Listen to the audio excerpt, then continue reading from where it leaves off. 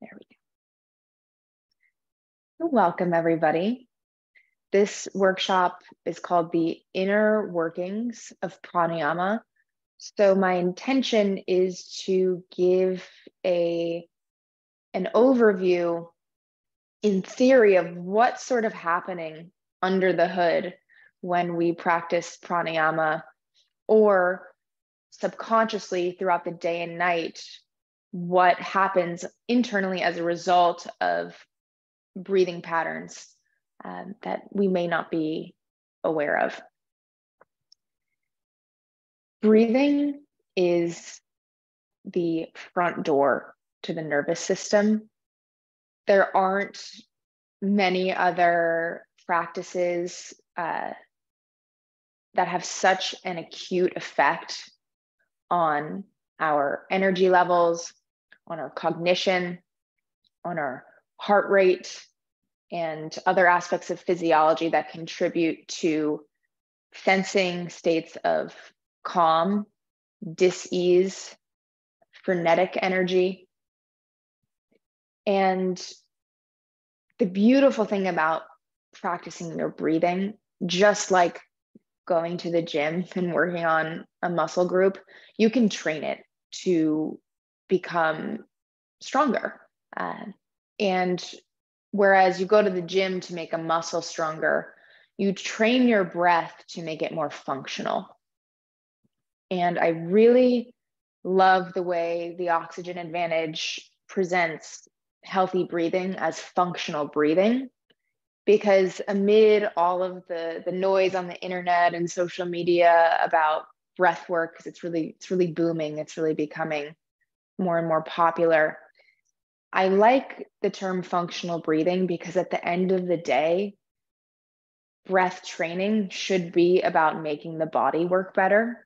Just like the kind of yoga we teach on the, this platform it's not about doing yoga to become good at yoga or to be able to do the splits or to be able to stand on your head. Like that really doesn't matter. Same thing with breathing. You're not practicing breathing just to become able to do these uh, energy shifting pranayamas. You're really practicing breathing to become more physiologically functional, have the organs function better. And the necessary ingredient to all of this better functioning is oxygen, right? And so there's a lot of misconceptions and a lot of myths about how we oxygenate the body and how we should be breathing.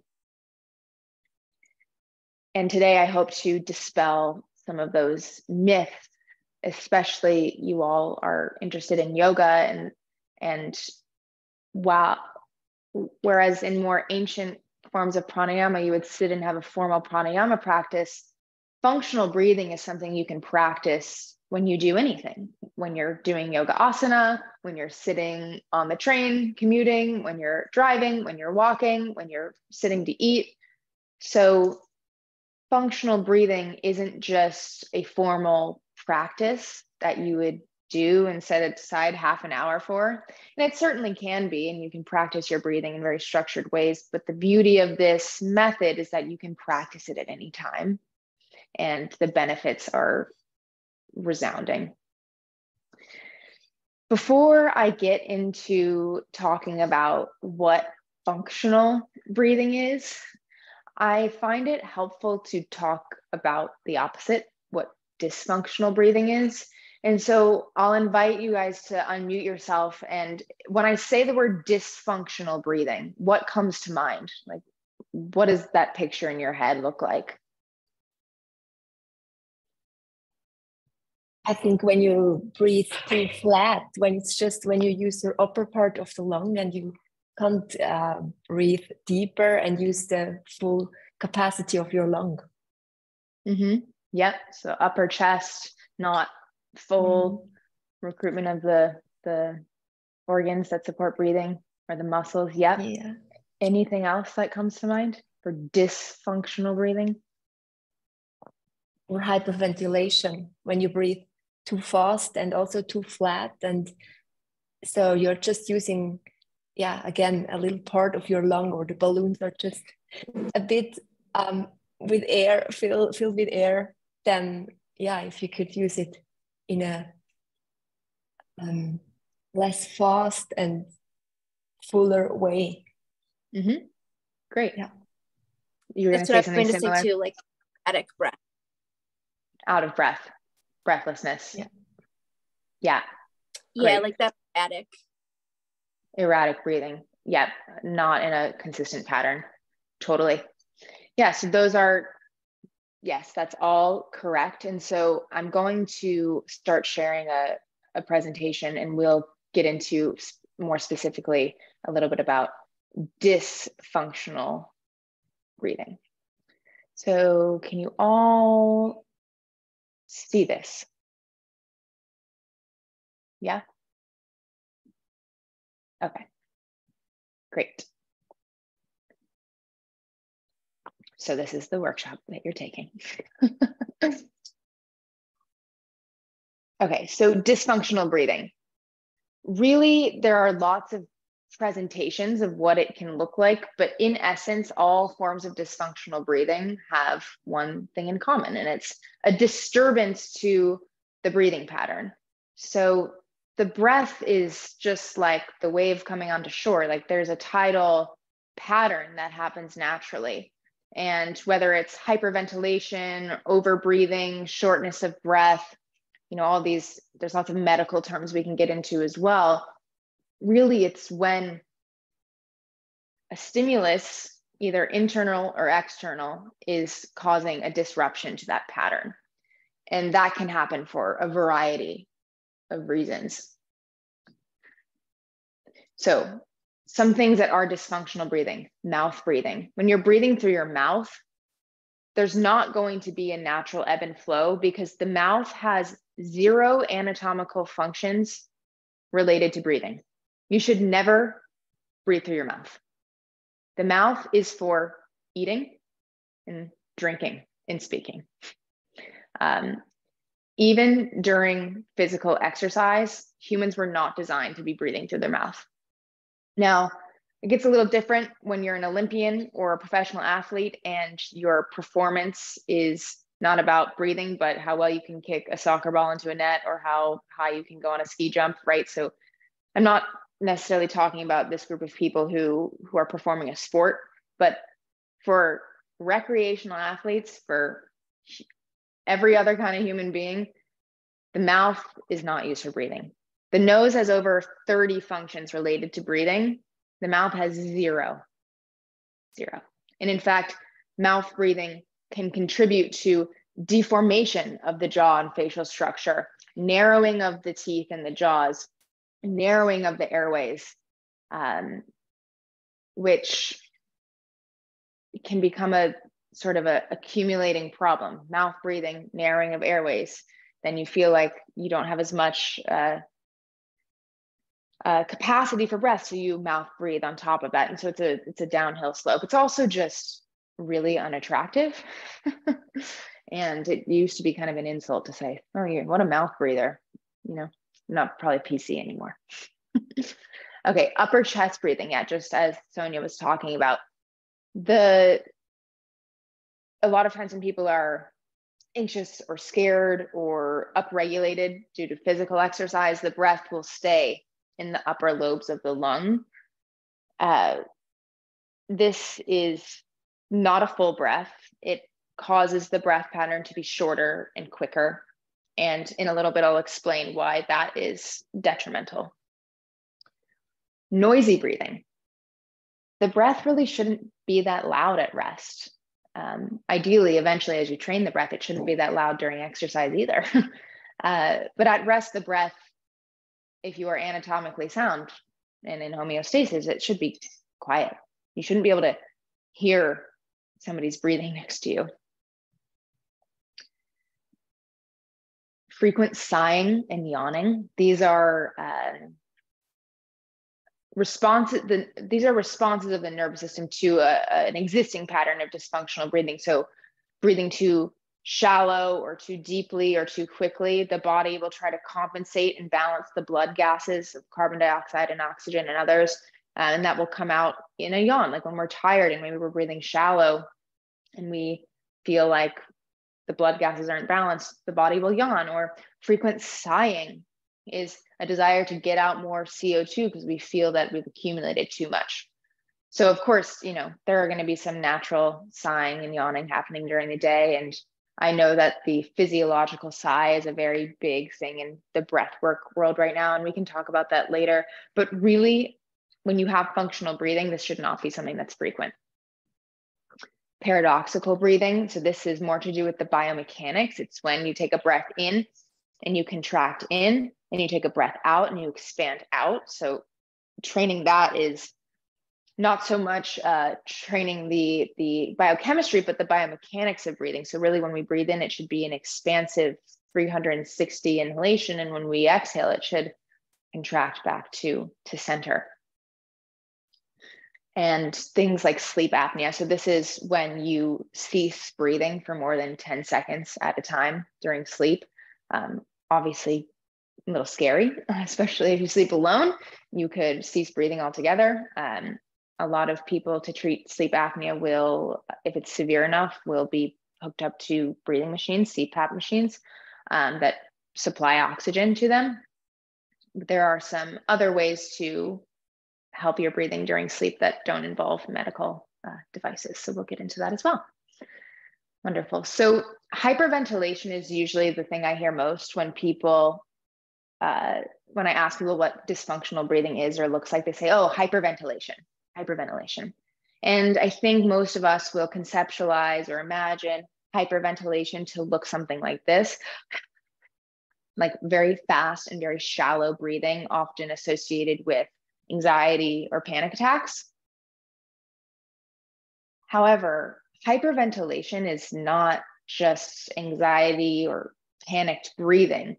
Hyperventilation is a simple equation minute volume times respiratory rate um, is going to give excess of both of these is going to give you hyperventilation. So when you're breathing a lot, a lot, a lot, a lot of volume, so big breaths in and out, this is hyperventilation. When you're breathing really, really quickly, even if it's tiny and shallow, this can also be hyperventilation because all hyperventilation means is breathing in excess of your metabolic requirements. So the volume you're breathing times the respiratory rate when they're both bumped up, this is a hyperventilation.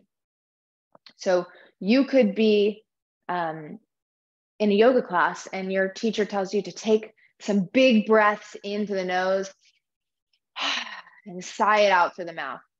If you do that several times, that's hyperventilating. If you do that once, that's hyperventilating.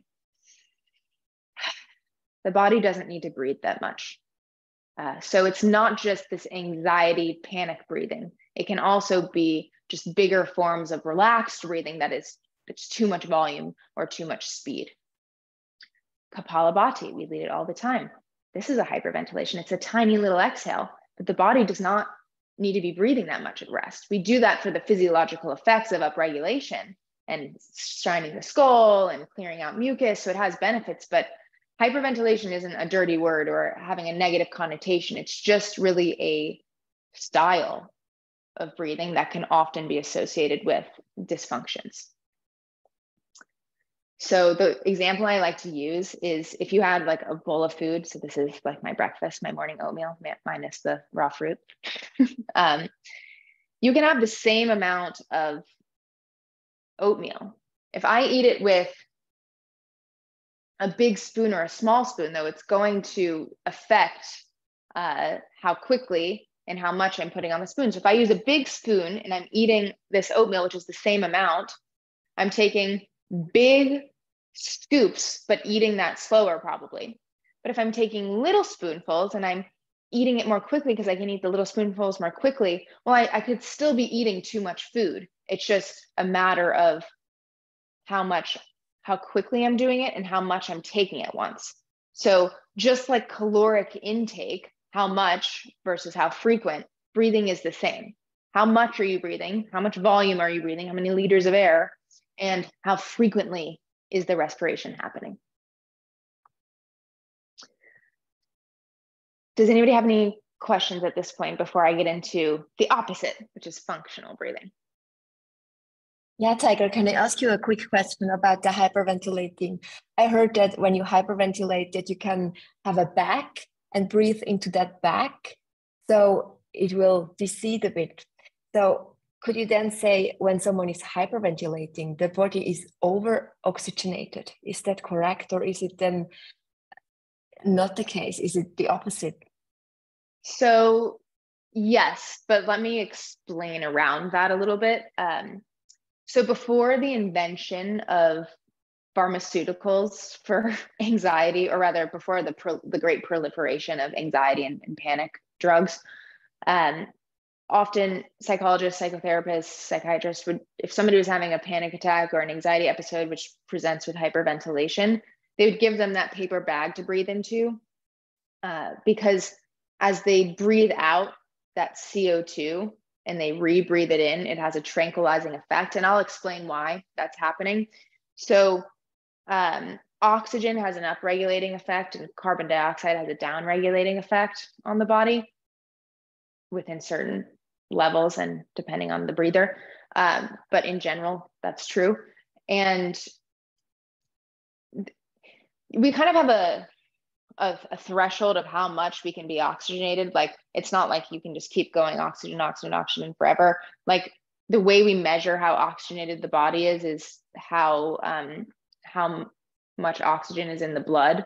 So the more, the faster and quicker and more hyperventilatory you are, the more oxygen just stays in the blood. So it looks like we're very oxygenated. Um, and I will ex- I will explain this in a little bit um, when I get to the, the chemical parts. Does does that make sense? Yeah, yeah, perfectly. Thank you. Yeah. Yeah. And Kari had a follow up too. When you're breathing that quickly, the oxygen isn't actually getting to the part of the lungs where gas can be exchanged. So you're just breathing out the oxygen as well. So it, you're not having functional gas exchange, is that. But and I'm going to get into this in a minute, but when you breathe out all that CO2 and you breathe in a higher concentration of carbon dioxide, that is going to allow the oxygen to get into the body more efficiently. And I will explain that. So, functional breathing is pretty much the opposite of all the presentations of dysfunctional breathing. Um, but it can be boiled down to three things. First of all, functional breathing happens through the nose. So you you cannot be functionally breathing through the mouth. The mouth is not designed to breathe. It's designed to eat, kiss, sleep, drink, talk. Um, functional breathing is slow. So the opposite of the the upregulated hyperventilation that looks like a fast breath Slow breathing allows the full descent of the diaphragm. It allows gas exchange to occur because you're getting into the lowest lobes of the lungs. And to that point, it's low. So these this is kind of a just a snapshot of functional breathing, but if you can remember nose, slow and low, that is the kind of breathing I think everybody should be practicing before they ever try to attempt these big hyperventilatory pranayamas or breathwork techniques. Because if you don't have functional breathing, if you can't breathe like this at rest or even into slightly upregulated states during low intensity exercise, the big breathing is going to be really overwhelming. And I'll get into that shortly. So, functional breathing, nose, slow, and low. So as I, am going to say this a million times, the mouth is not for breathing. Like I encourage anybody who has another form of exercise practice, whether it's running, cycling, walking, whatever you do, try to breathe through your nose as much as possible. The nose is a beautiful part of our body. um, it's designed to do many things quite well that the mouth simply cannot in terms of respiration. The nose filters air. So when you breathe through the mouth, it's like drinking pond water versus filtered water. You're, you're not having any mechanism that's filtering out bacteria, pathogens, pollution.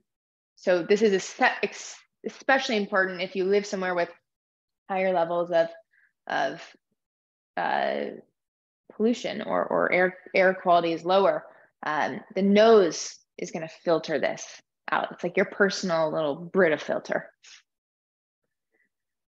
Nasal breathing is related to the parasympathetic nervous system. So mouth breathing is fight or flight, it's upregulating. N nasal breathing is parasympathetic. It's related to the rest and digest side of the nervous system automatically. So nasal breathing will always be a more calm version of breathing.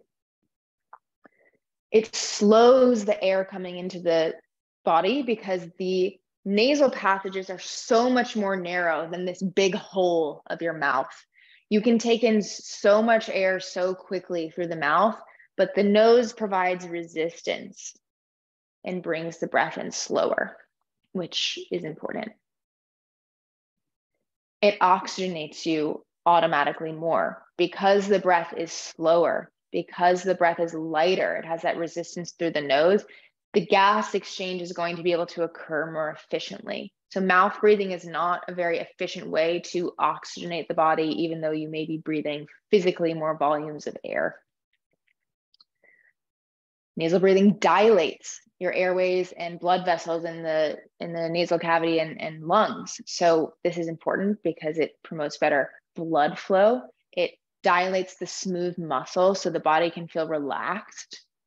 And when the airways are dilated, the body can feel more in that rest and digest uh, side of the nervous system so that the breathing has that rhythmic, calm quality. And also, when the, the blood vessels in the lungs dilate, that oxygen that you're be, that you're breathing in is going to be more evenly distributed through the lungs to actually get to the, the lowest part of the lungs. Nasal breathing is hydrating. So you retain like 40% more water breathing in through the nose compared to mouth breathing. So if you're somebody who likes to run and you are not hydrating enough in general, but then you're after a run, maybe it's slightly colder out. You're like, man, I feel so dry. I feel so so aired out. Then the mouth is doing nothing for hydration. So if it's a really hot day, you should not be mouth breathing and doing exercise. You shouldn't be mouth breathing doing exercise in general, but especially if it's a time when you're sweating a lot, a lot, a lot. Nasal breathing automatically deepens the breath because it slows it down and it will allow the body to be more relaxed to let the diaphragm descend. So it promotes functional breathing all the way from the nose to the muscle of the diaphragm. Nasal breathing, as I mentioned before, in opposition with the mouth breathing, it's going to promote a better facial and jaw structure so that the airways stay um, more open. Uh, it nasal breathing promotes widening of the of the jaw. So really your tongue should fit on the roof of your mouth. The tip of the tongue should just rest at the back of the teeth. People who have very narrow jaws from years of mouth breathing won't be able to feel that. Uh, so it this is a whole nother workshop in itself, like myofunctional therapy and all of the ways that um, mewing techniques can widen the airways. But know that nasal breathing alone will support a more a healthier facial structure. Okay, so there are three um, pillars of functional breathing biochemistry, biomechanics, and psychophysiology. The biochemistry really comes down to one kind of breathing, and that is breathing lighter, which means you are taking in far less air and you are breathing out far less air. So this does not mean you're not fully descending the diaphragm nor taking a full breath.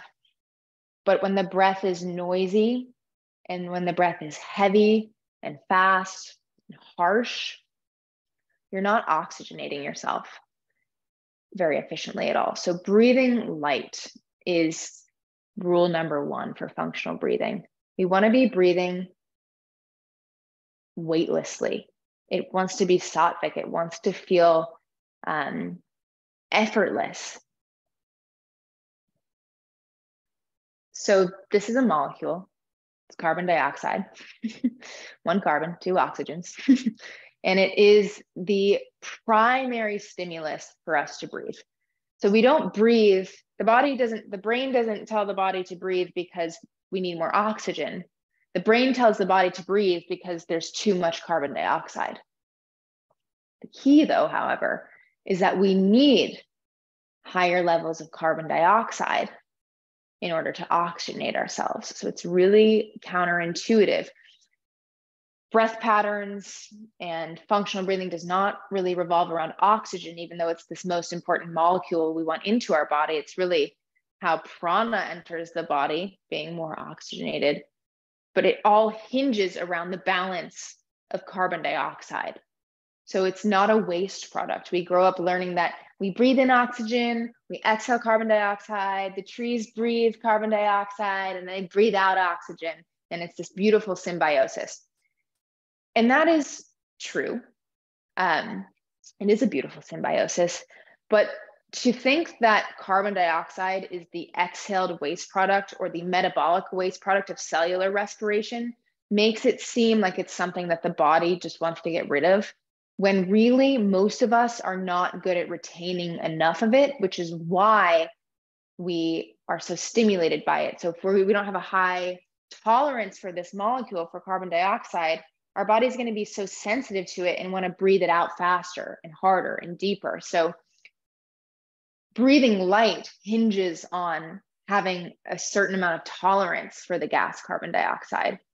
And really all good breath training for functional breathing raises that tolerance, which will just make your arousal threshold higher, which means that you're not so stimulated to breathe in fast because you can handle the, the higher levels of CO2. Um, CO2 also dilates the airways. This is why um, nasal breathing, um, I said it dilates, is because nasal breathing, because it's slower and it's lighter, will produce will accumulate more CO2 in the blood, and that will dilate the blood vessels and nasal cavities um, to have more open airways. Um, if you're ever, we can practice this later, if you're ever feeling really congested and not open in the airways, well, holding your breath or breathing lighter to op- to retain more CO2 will actually dilate and open and clear some of that mucus. Um, and it's it, it, it's it's really cool um, how breath holding can help with dilating the airways. Perhaps the most important function of carbon dioxide, though, is not for simply dilating the airways. And this is really the the kernel of wisdom that everything else I'm going to tell you hinges on. Carbon dioxide is necessary to release oxygen into the tissues. So when we breathe in fast and shallow and harsh, and we're technically hyperventilating, breathing more than the body requires.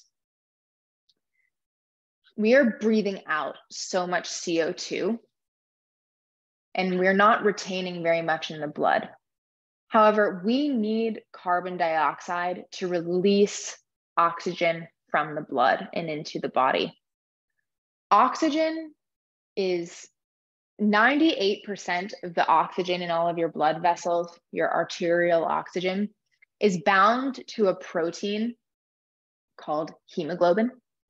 And it is only with the heightened or greater presence of carbon dioxide that that oxygen will dissociate from its hemoglobin bind and be sent to the organs and tissues and cells in the body outside of the blood. So we need carbon dioxide to oxygenate our bodies. If we're breathing out CO2 constantly because we're breathing too fast or too harsh and we're not getting that gas exchange, our oxygen is just staying bound in the blood, which is not that helpful when we're running and our calves are starting to burn because we need oxygen um, in parts of our bodies that are so energy demandant um, to make ATP, to make energy.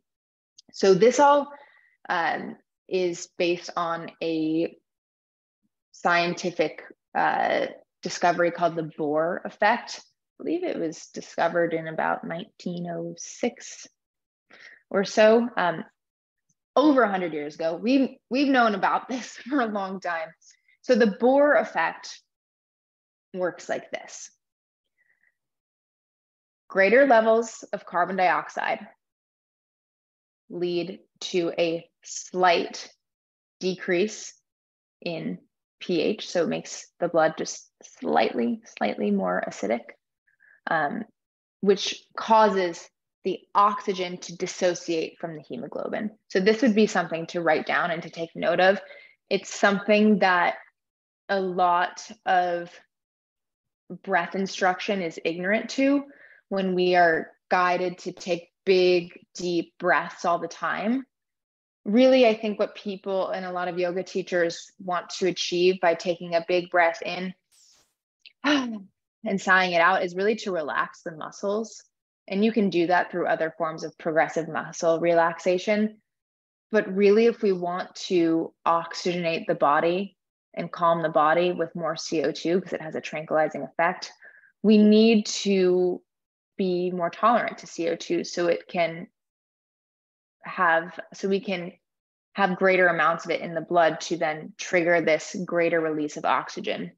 So, in essence, to breathe light, we're going to practice feeling breathless, which is counterintuitive. You'd think, oh, I'm going to practice my breathing to, to feel you know oxygenated like really we should be practicing feeling breathless because that's what will train our breath to become more functional to train our tolerance to co2 it's just like going to the gym. Like i need to train using my muscles and feeling how challenging it is to lift the dumbbells in order to then out in the world be able to lift something heavy if i need to.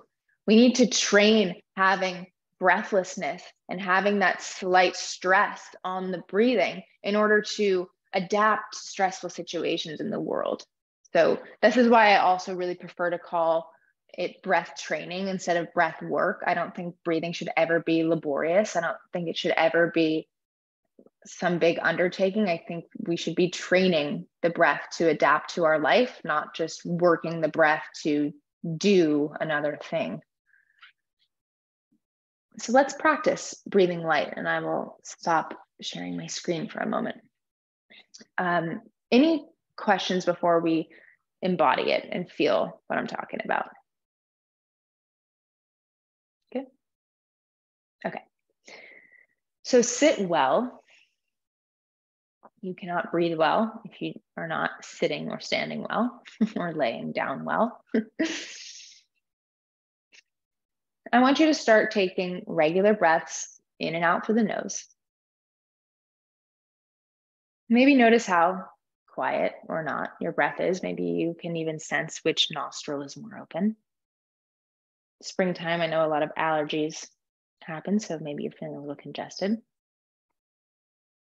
Now, the next breath in and out you take, I want you to start lightening it up. So each breath you take, excuse me, make it lighter than the one before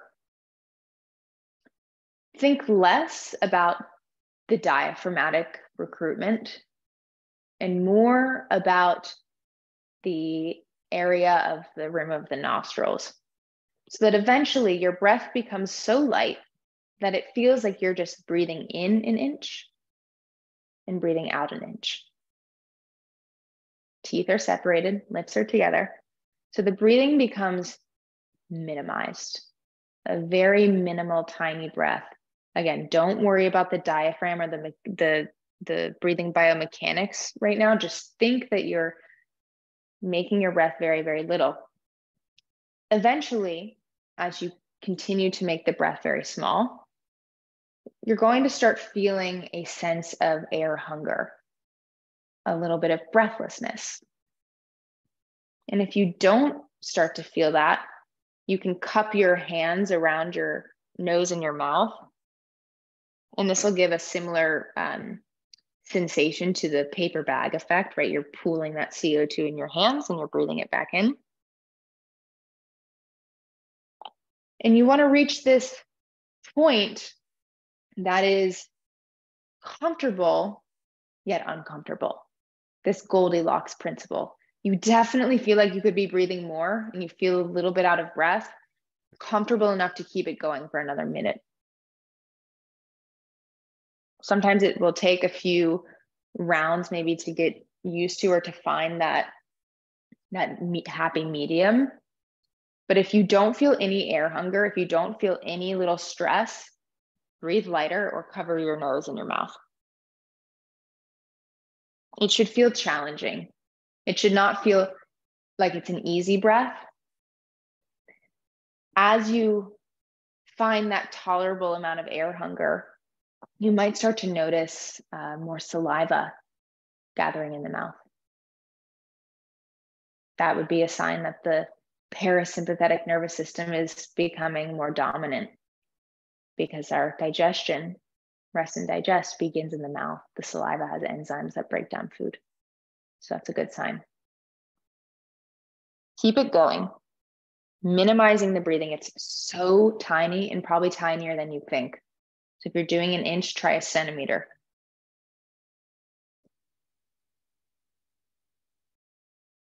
Tiny, tiny, tiny. The breath becomes imperceptible to the outside eye.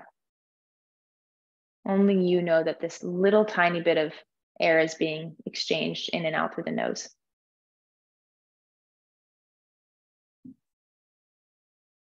Keep it going.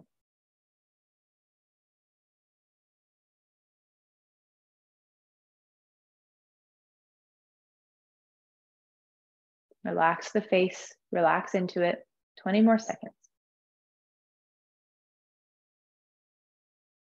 Should not feel very easy.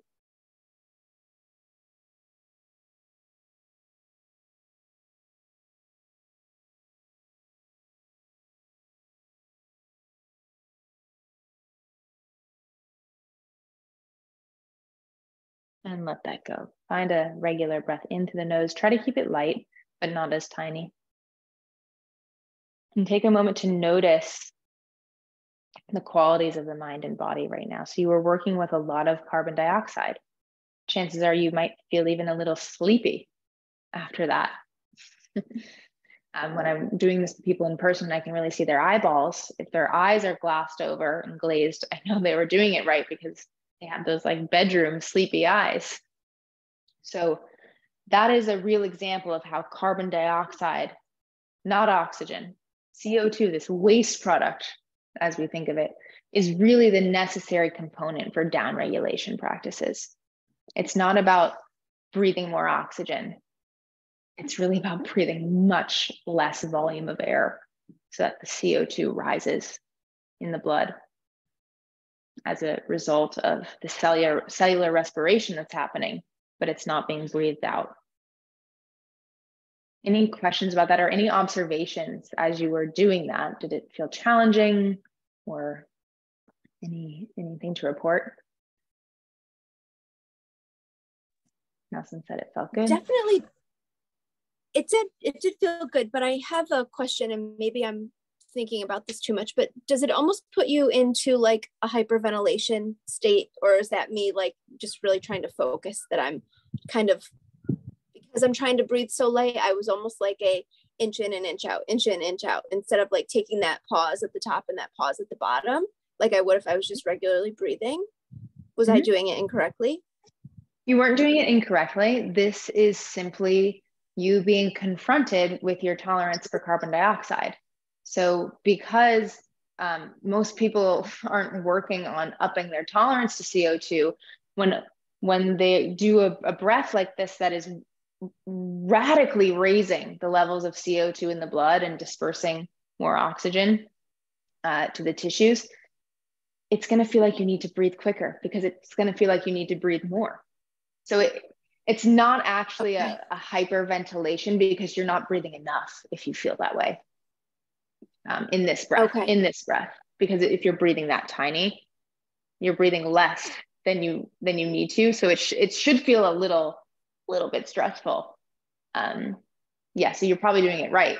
Uh, I I recommend people doing this three times a day, three minutes a day, and it can really help the, the CO2 tolerance. If I were to have a pulse oximeter on my finger, which measures two things it measures my heart rate and it measures the percentage of oxygen that is occupied in the blood. So normal at normal levels, it's 95 to 99% because the, the little snapshot that this is taking of my blood, it sees that, oh, well, 95 to 99% of this surface area in the blood is oxygenated. There's, there's that many oxygen molecules. When we're doing this kind of breathing and other techniques we'll, we'll get into, uh, that number is going to drop. Your percentage of arterial oxygen might go down to 94, 92, or 91, which means that there's no longer that oxygen in the blood because the CO2 rose and now that oxygen has gone to the tissues. It's gone throughout the body. So that's what's that's what's happening there. So yeah, it, it should feel a little confrontational because most of us are not that comfortable with those higher levels of CO2. Any other questions or, or observations? All good? Okay. Fabulous. It, and it will take some time to get used to something like that because we're normally taking these whole breaths in and out, but really the body doesn't need to be breathing that much, especially as we keep training the breath. Mm, okay, back to the presentation. So that was good. So I that's the first um, pillar of functional breathing. Breathe light, and when the and so the what I mean by this is you want to be breathing lighter in during the day and during the night, but that exercise, breathe light, was a a, a very pronounced version of breathing light. So you're not you're not supposed to be breathing one in, one out all the time. In general, you want your breathing to be lighter, but doing your breathing that tiny will train the breathing to be lighter and, and effortless at rest. So that that's the exercise you do to attain functional light breathing. The next pillar of that the oxygen advantage um, emphasizes for functional breathing is the breathing biomechanics. So we worked on the, the breathing biochemistry, the balance of CO2 and oxygen in the blood. Um, this aspect is one that I think uh, people who do yoga really like a lot because we're often in class told to take a diaphragmatic breath or a belly breath, right? We hear that, hear that all the time. Take a big breath into the belly. How many times have you heard that? Um, and there's nothing wrong with saying that. I just don't think it's very accurate. So, breathing deep is not a feeling, it's, it's a spatial term. Depth is a spatial uh, word. So when we talk about breathing deep, we're not talking about where, like this location. We're talking about space wise, getting depth. So that means breathing into the lowest lobes of the lungs. And something I really want to emphasize today is belly breathing is not the same thing as deep breathing. They're not the same. Belly breathing is referring to directing the breath to a place in the body, whereas deep breathing, if it's functional, is talking about where in the lungs spatially we're going. Okay, so that's a big takeaway. Belly breathing is not the same thing as deep breathing. First of all, the belly doesn't breathe, right? the lungs, diaphragm, nasal passages do. Um, and while it can be soothing to direct the breath there and a nice mental tool to get that engagement of the diaphragm, it's not the same thing.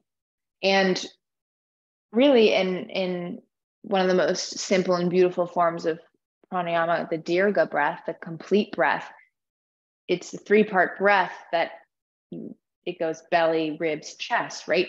And really, when we take that first part into the belly, the breath doesn't stay there when we move into the ribs side to side. The, the belly should deflate back as you move into the ribs and up into the to the chest and the collarbones.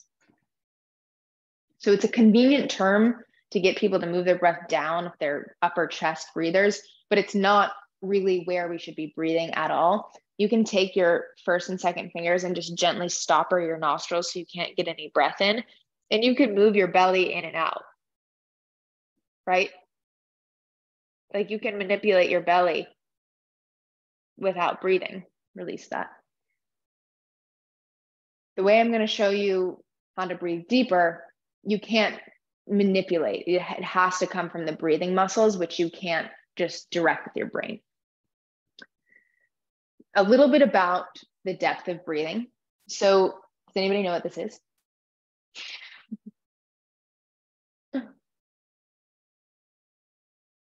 Are these the alveolus where the yes. um, exchange of oxygen and um, yes carbon dioxide happens? or not exactly. I don't know. So these, this is a very small sample um, of a part of your uh, lung anatomy called the alveoli or alveoli, depending on how you pronounce it. They look like these little bunches of grapes. They're they're amazing. This is where gas exchange occurs uh, in the lungs. So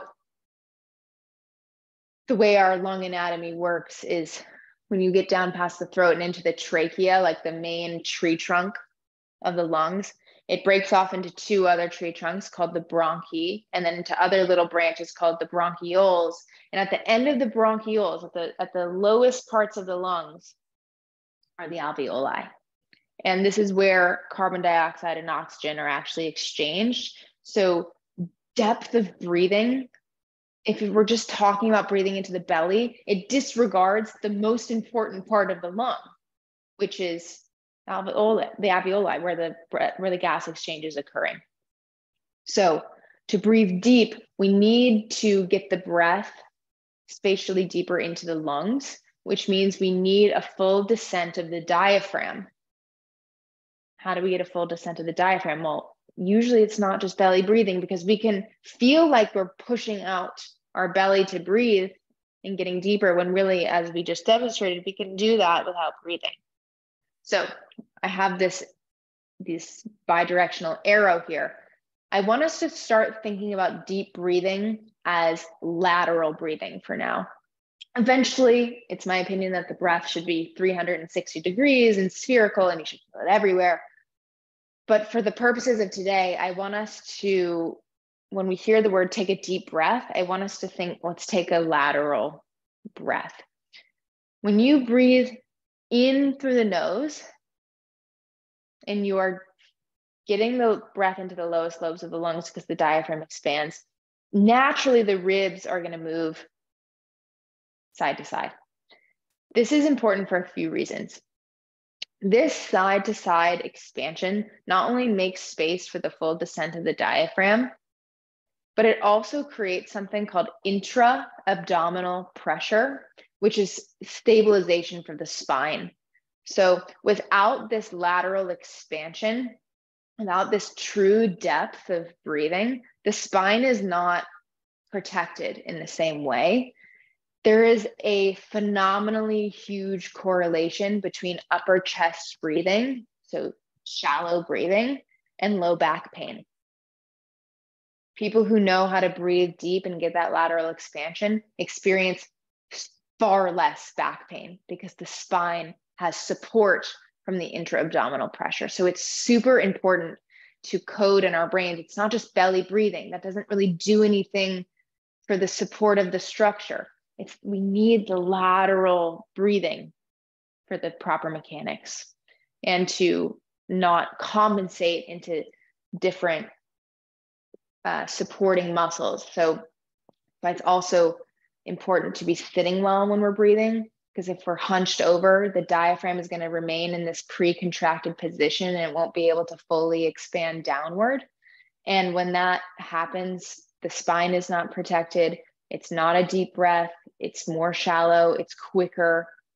So, sitting well and getting that side to side expansion is what I want you to think about when you hear the words take a deep breath, take a lateral breath, take a wide breath. And um, yeah, so lateral breathing is truly deeper breathing. Let's practice it. Let's practice that. So take your hands and frame the lowest ribs. Feel for your ribs and then just frame your hands on the outside of your body around that. Let the shoulders be relaxed, sit well. So we're not flaring out the ribs here because just as this prevents the descent of the diaphragm, so does this. So does a hyperextension of the spine. So we want to be really in the middle of ourselves. You're welcome to close the eyes if that feels comfortable, otherwise just a soft gaze. As you start to take breaths in, I want you to get this sense that your ribs are moving out into the inner edges of your hands. And as you exhale, your hands move closer together as the diaphragm re returns upward to its resting state. So, breath in is the contraction, the expansion down of the diaphragm, that intra abdominal pressure being created. And the exhalation is the return back to center. So, whereas a lot of people instruct putting a hand on the belly to feel the breath, I like this so much more because you you know that you're getting the lateral, truly deeper breathing. And also, this is not something you can just do with your mind. As I showed you, you could plug the nostrils and move the belly in and out. You cannot cease breathing and in your mind move your ribs side to side. Only a truly deep breath can do that. A relaxed breath can do that.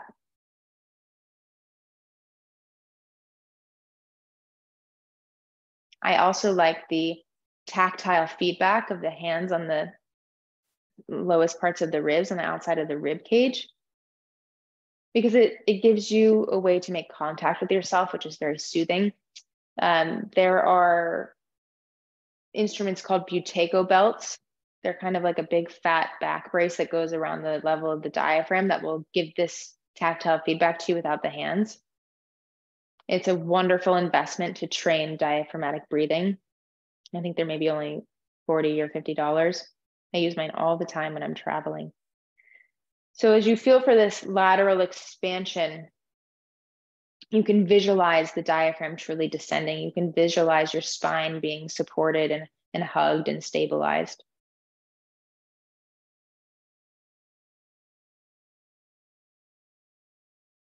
And then if you want to make it a little bit more challenging, if this feels quite easy, you can start to lighten up the breath, making it smaller, but still trying to get that diaphragmatic expansion downward and the lateral expansion side to side. Because eventually we, we want deep breathing that is also light. And that's the, the harder thing to train is layering those two.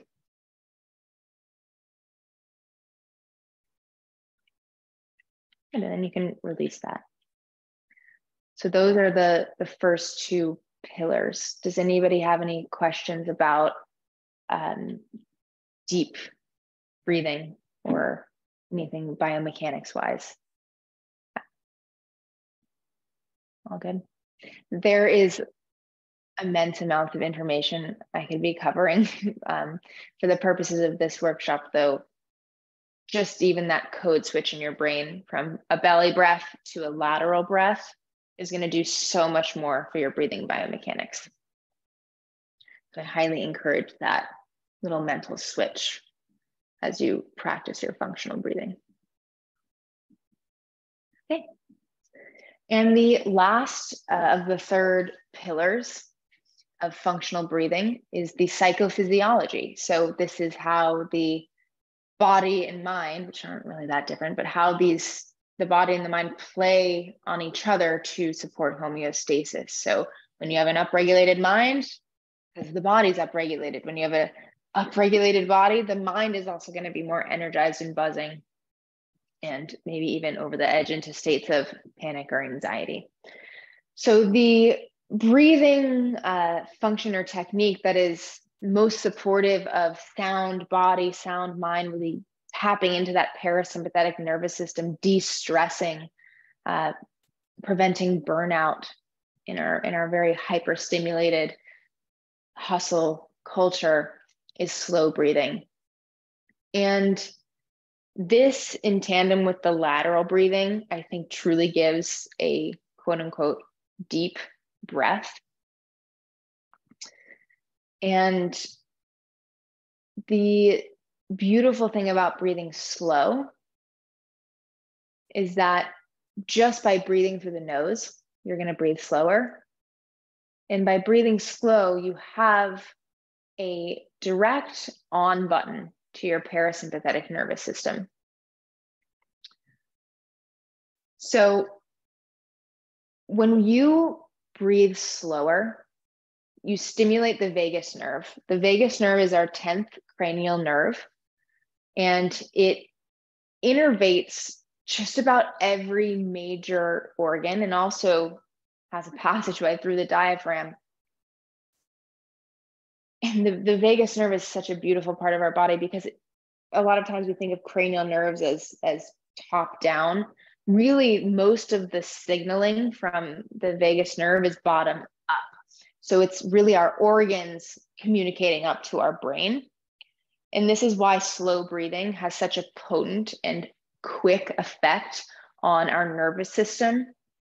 Because when we breathe slow and that vagus nerve is stimulated, we get all these signals from the body to the brain that we are calm, we are safe. Another very cool physiological component of this is when the vagus nerve is stimulated, our uh, we have a neurotransmitter called acetylcholine, and that is pumped into the heart when we stimulate the vagus nerve, which pretty immediately slows down the heart rate. So, slow breathing stimulates the vagus nerve and, in kind, slows the heart rate. So, we get this signaling that the body is calmer because the heart rate is slowing, it is safe, it is can rest and digest and this is why I like to think of slow breathing as just an on button or stimulating the vagus nerve as an on button for the parasympathetic nervous system because it's actually quite simple. It relates to that equation of hyperventilation. So, hyperventilation can be volume, it's how much you're breathing, but it's also cadence. How quickly are you breathing? Really feeds the upregulation that hyperventilation usually accompanies. So, slow breathing is a technique that is so simple to teach to other people and to give to yourself. That is the bread and butter of breath training, in my opinion, because also when you're slowing down the breath, pretty automatically you're going to get a greater descent of the diaphragm and get that lateral expansion. Slower breathing also retains more CO2. So you also get those biochemical benefits as well by letting the oxygen be released into the tissues uh, more readily. So we can practice this as well. I'm going to guide a, a resonance frequency breath or a, a, a cadenced breath. So I'm going to guide five seconds in, five seconds out if this feels too slow and it starts to feel upregulating because it's it's a, a cadence that makes you feel breathless please uh, make it quicker maybe four three seconds. On the other hand it could also feel too quick and you can adjust upwards as well six or seven seconds. I will by the end make it a little bit longer as we're into it but just know that you don't have to listen to me like that's the way to do it. Adjust for for your body. It's meant to just be equal parts in equal parts out. Okay? So sit well again take a regular breath in and out for the nose. And on the inhale we'll start for five four three two one out five four three two one, in, two, three, four, five, out, two, three, four, five, in, two, three, four, five, out, two, three, four, five, in, two, three, four, five, out, two, three, four, five, in, two, three, four, five, out, two, three, four, five, in, two, three, four, five, out, two, three, four, five, in, two, three, four, five, out, two, three, four, five, in, two, three, four, five, out, two, three, four, five. Slight pause here, and then in again, two, three, four, five, out, two, three, four, five. Slight pause, two, three, in, two, three, four, five, out, two, three, four, five. Slight pause, two beats, and then keep it going at your own cadence here. In, maybe five seconds, maybe more or less, and out. And like a two to four beat pause at the bottom. In again. And as you continue breathing slowly here in this cadenced breath, see if you can't lighten up your breathing a little bit. Can you make it quieter and lighter, slightly minimized?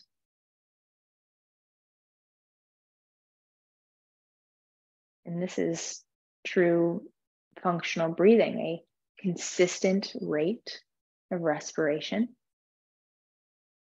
a true depth of breath, and a levity of breath that balances the blood gases. It may feel much different than how you normally breathe throughout the day. Ultimately, this is how we want to be breathing nose, slow, and low. Give yourself about two more rounds here.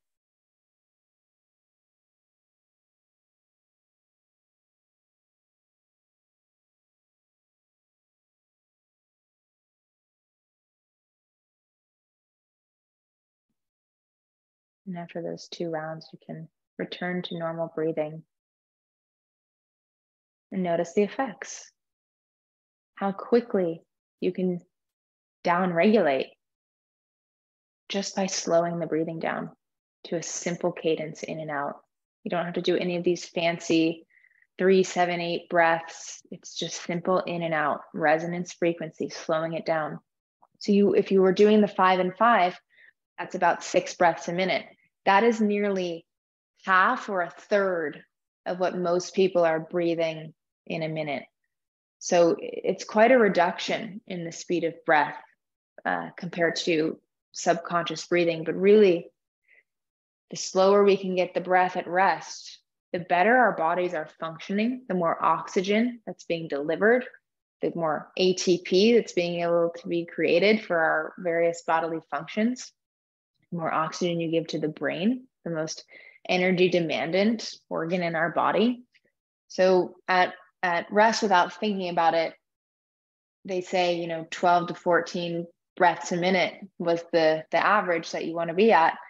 Now, because people are so overstimulated and anxious, they've actually the, the medical associations have risen that to 16 to 18 breaths a minute, which is insane. Um, yeah. So it's uh it's five in, five out might not seem that hard, but really it's a dramatic reduction in the, the speed of breath for most people at rest. Any questions or observations about the slow breathing? It's okay if not, yeah. I feel so relaxed, Tiger. It's really amazing. I mean, when you do this often during your day, I mean, then it really starts down your regulating you also during sports or when you have stressful situations or when you do your stamina trainings, then maybe it also helps to breathe as light as you can, I guess. Would you mm-hmm. recommend mm-hmm. that also trying that light breathing during um, stamina sport or long distance sports? Yeah. This morning I, I took a run here in the Berkshires and it's it's, it's beautiful. And, and now anytime I go on a run, I'm I'm not a runner for the record, but anytime I go on a run, I'm really just going to train my breath. So instead of what I used to do is just, you know, try to run X amount of miles and X amount of time, not concerned about my breathing. Now I see, you know, maybe I can run a quarter of a mile breathing light, or maybe I can run X amount of meters holding my breath, right? So there are tons of opportunities to play the functional breathing and, and a little bit of the the breath, the other breath training we'll get into today. But yeah, it's it's amazing what these simple techniques can do for us. Again, a lot of the breath work that's booming and becoming very popular is very stimulating. It's very big. It's very masculine. It's it's powerful breathing. When really, I think most people need to learn how to down regulate and then they can play with the other stuff. But once you have this functional breathing and you're really operating at a place that is so in the middle and you can manipulate your breath to be upregulated or down regulated when you need to, it just gives you so so many more choices in how you can feel and adapt to the things that you can't control. Um, yeah, so I'm glad that it, it felt nice for you too. Um, any other questions before we keep going? I promise we'll do something that won't put you to sleep soon. okay, great. So um, this isn't my favorite drug. No, I'm kidding. This is my favorite way to, way to breathe. Uh, I love this acronym because it's so easy to remember for most people. Uh, this is how, this is functional breathing. This is really how I don't like to should on people a lot, but this is really how we should be breathing for our health, the health of our nervous system, our physiological systems, and our mental health for sure. So you can remember this LSD, it stands for light, slow, deep. Three pillars of functional breathing. So if you can just remember LSD when anytime throughout your day, your your breath training, you're working on your breathing. It's the same thing as nose, because by breathing light, you got to breathe through the nose. Slow, slow, just as we said, and deep, which is low. So nose, slow, low, light, slow, deep. This is the way humans ought to be breathing at rest and in some forms of upregulated exercise as well, which you can train. So I keep talking about functional breathing, and we've done a few exercises that may have presented challenge or ease in certain ways. But you may be wondering, well, how functional is my breathing? How, how do I know if my breathing's functional? I haven't been thinking about it 24 hours a day. So, luckily, we have a very convenient uh, way to measure this. And it is really a measure of how tolerant you are to the gas carbon dioxide. Again, it's our primary stimulus to breathe. So, if you can become less sensitive, more tolerant to this gas, your breathing becomes more and more functional. So the metric we use is called the BOLT score, B O L T. And the BOLT score uh, stands for Body Oxygen Level Test. Body Oxygen Level Test. And we will measure this together. If you have a, a watch or a phone timer, that will be really helpful because you will need to do your own measure. So grab one of those. I could also um, count for you, but I think it's much easier to, to do it on your own. So find something that you can measure time with, even if it's just a clock in your room with a second hand.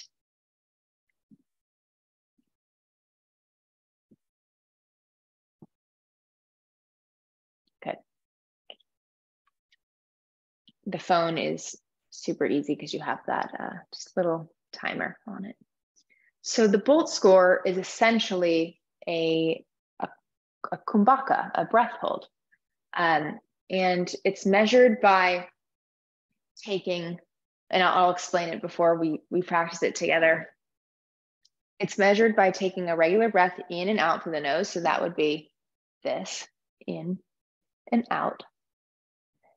And then after the breath out, you will close your nostrils. I like to do it this way by interlacing my hands and letting my thumbs stay lifted. And then I just gently stopper underneath my nose. I don't like just pinching the sides of the nostril because it's really sensitive tissue in there and I don't like jamming it closed. So if you do want to use just one hand, just gently stopper the nostrils. So, you know, you can choose which hand variation you use. So it's a breath in, a breath out. You start your timer, you hold your breath after the exhale, and then you essentially hold your breath until you feel the first uh, definite desire to breathe. So the first stress to breathe in, that feeling, it's like, oh, I really need to take a breath in.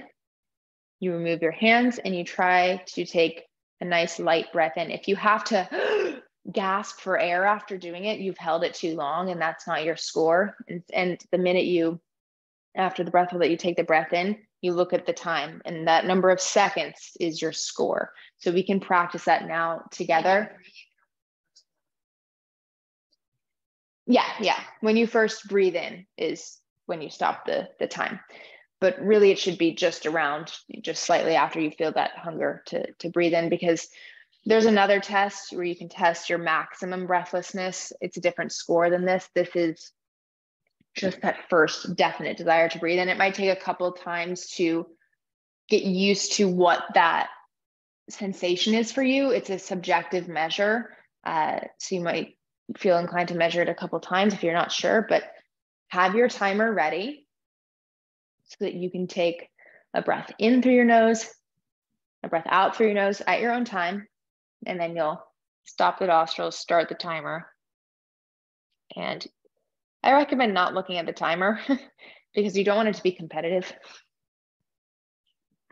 And then once you feel that first definite desire to breathe in, you move your hands, you breathe in, you stop the timer, that's your score.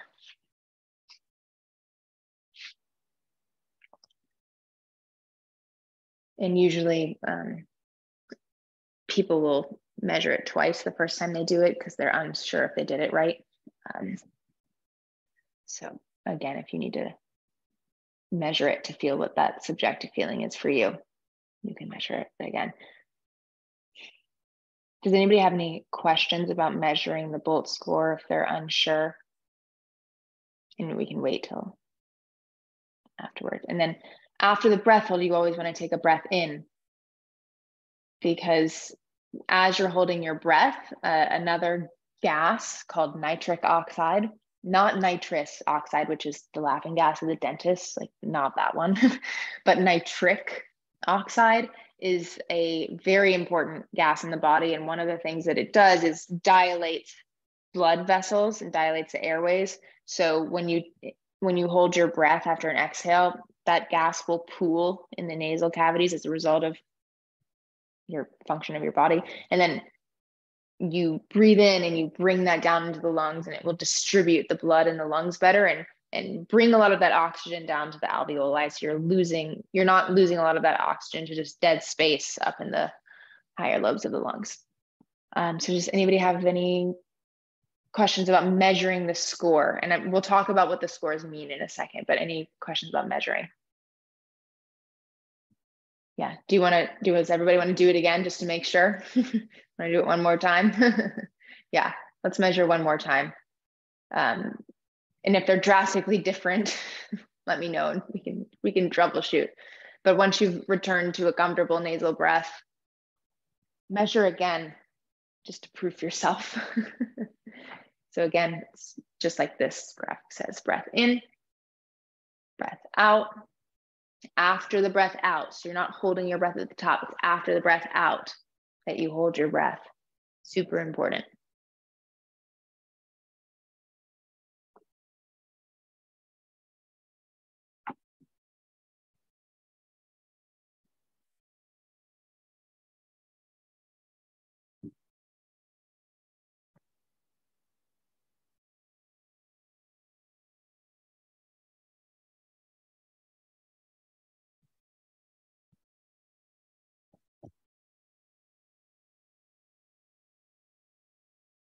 And then breath in after the breath hold, nice and slow and controlled.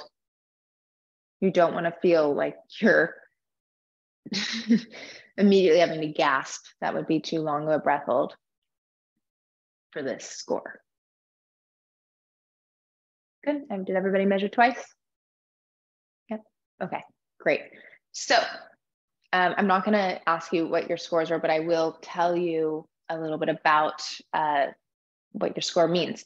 So the most recent study we have done in 2017 says that there is an 89% chance your breathing is functional if you have a Bolt score of 25 or above.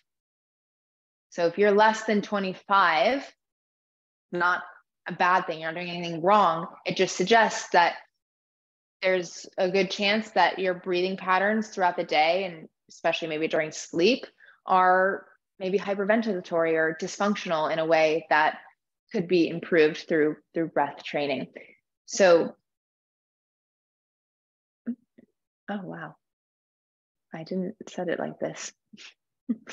um, that's weird. I think there we go. I learn something new about my computer every day. Um, so 25 higher is really the functional breathing level. And and you know, this score isn't perfect, but this is in general the metric. Eventually, you want your Bolt score to be over 40. This means that you can exercise and do anything you want while nasal breathing, pretty much. We want to get to a point where you can work out your hardest and still be breathing through the nose and not have to break in through mouth breathing. So 25 or higher for now, though, is the goal. And after the workshop, if you're interested in, in training your breath more, we can talk about that. So that's the Bolt score. Any questions about measuring, about anything like that? Tiger, I have just a quick question about the point when you do the breath hold. Do you then also activate the bandhas in the in the belly, maybe the Uddiyana bandha? Do you in the belly or do you just leave the belly, yeah, just as normal or as yeah as it is? So for, or? for the purpose of this, I want your body to relax. Um, more ancient techniques will play with that um, either on the inhalation hold or the exhalation hold. And we're not going to get so much into the bandhas today because I think that is a much more nu- nuanced conversation. So for for any breath holding we do in this workshop and anything oxygen advantage related, we want the body to feel relaxed so that as the carbon dioxide is mounting in the blood, through through measuring things like the Bolt score when we're holding our breath and more of that CO2 is being retained in the blood as a byproduct of cellular respiration and it becomes more and more uncomfortable to keep holding the breath. We want to train the body to relax into that as much as possible so that we can train the adaptation to be calmer as the stimulus grows. Does that make sense? We just want to relax into it. Yeah. Okay. Nelson, did you have a question? Are you good?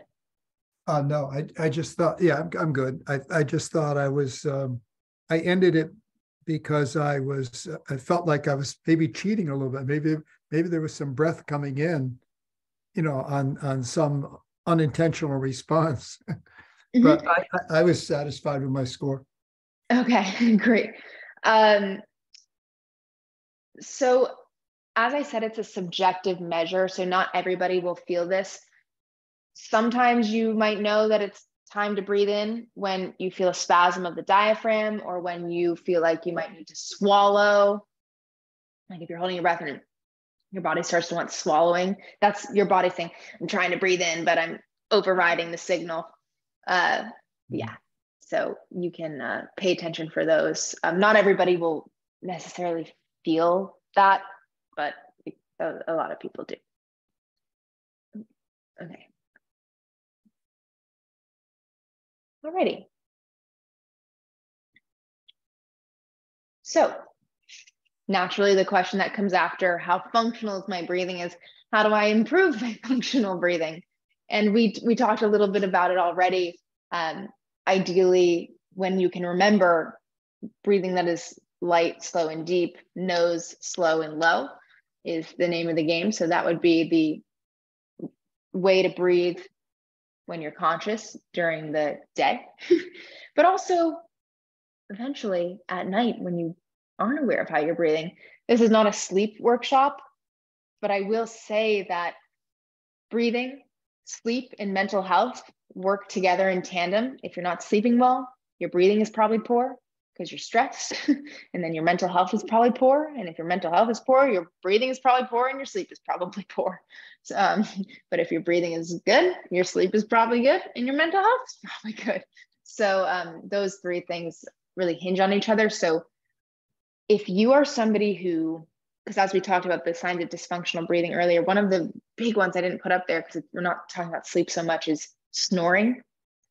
That's dysfunctional breathing for sure. Um, so during the night, if you know that you snore, or if you perhaps know that you have something like sleep apnea, or if you wake up with a dry mouth, these are signs you've probably been mouth breathing throughout the night, which, as I've said several times, the mouth is not for breathing, even though it tries. It's the nose that we want to be breathing through. I tape my mouth every night when I go to bed um, with myotape. It's this blue tape that goes around my lips. Um, you can also get surgical tape and put it over your lips. It's a fantastic thing to do, especially um, because unless you have a partner who tells you that you snore or mouth breathe or do something else annoying breathing at night, we don't know how we breathe at night because we're not conscious. So taping the mouth is a fantastic thing to do for sleep. And maybe eventually on the platform, we'll do a sleep and breathing workshop. Uh, but if I had to give one piece of advice for improving breathing during sleep, it's taping the mouth. Um, and I can send you guys some links for that afterward. The other component of breath training is called intermittent hypercapnic hypoxic training. So that's a big mouthful of words. I didn't coin the term, believe me. Um, essentially, we can break it down though. So hypercapnic, this is higher levels, elevated levels of carbon dioxide and hypoxic, lower levels of oxygen. And working in just like um like if you've ever heard of like HIIT like high intensity interval training, we can basically do this for our breath by doing short bursts of bumping up CO2 and and um, breathing less oxygen to start to improve our tolerance to CO2. Um, this is also called the simulation of high altitude training, or if you happen to live in the Alps or in the Rocky Mountains, you could just probably go outside. um, but for most people who live close to sea level, or if you do live at an elevation and you just really want to train the breath, this is the name of the game, and it's what we're going to talk about next. So, intermittent hypercapnic hypoxic training if I'm ever writing it down or talking shorthand, it's just IHHT or simulation of high altitude training. This kind of breathing is uh, really, really bumping up the levels of CO2. So, um, and it's done with a lot of breath holding. So it's not for people who are pregnant, have high blood pressure, or any other maybe more severe respiratory or cardiac conditions, this um, it's very upregulating. It's it's true breath training. It is these are stressors for the body. We are intentionally stressing the body mind, stressing the breathing to create adaptations, to to raise our tolerance to CO2, to become less sensitive to this very important gas for breathing. So the simulation of high altitude training or IHHT is not anything new. Oxygen Advantage didn't invent it. I certainly didn't invent it. It's been around forever. Um, and it's called Kumbhaka in the realm of yoga and Ayurveda. And really, there are there are two forms of Kumbhaka. It's holding the breath after the inhale or holding the breath after the exhale.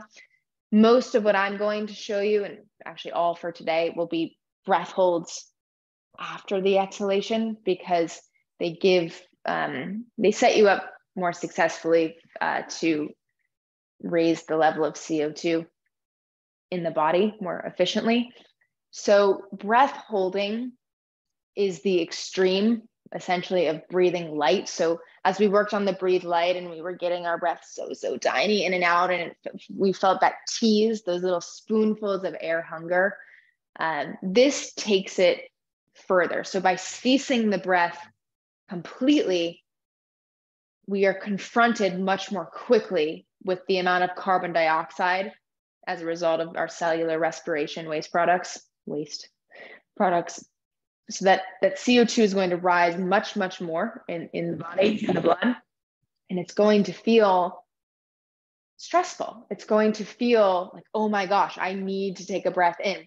So it, this is also not a kind of breath training for people who are really prone to anxiety or panic attacks because those people are already feeling high intense amounts of um, heightened carbon dioxide and that's what's triggering the hyperventilation.